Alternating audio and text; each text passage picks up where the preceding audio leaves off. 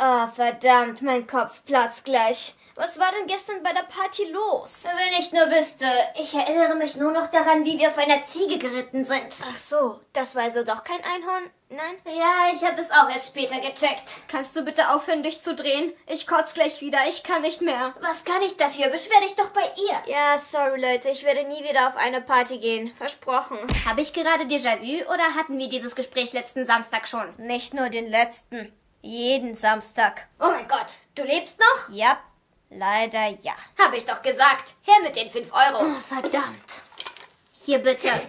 ähm, was war das gerade? Ach, nichts Besonderes. Wir haben nur eine kleine Wette abgeschlossen, wer als nächster nach den Gehirnzellen sterben wird. Wie, wie konntet ihr nur? Ich habe immer gedacht, dass wir beste Freunde sind. Ähm, Entschuldigung, ich weiß, dass es gerade etwas unpassend ist, aber ich konnte es einfach nicht mehr halten. Es tut mir wirklich leid. Teamarbeit, Bro. Ich habe schon vor einer halben Stunde aufgegeben.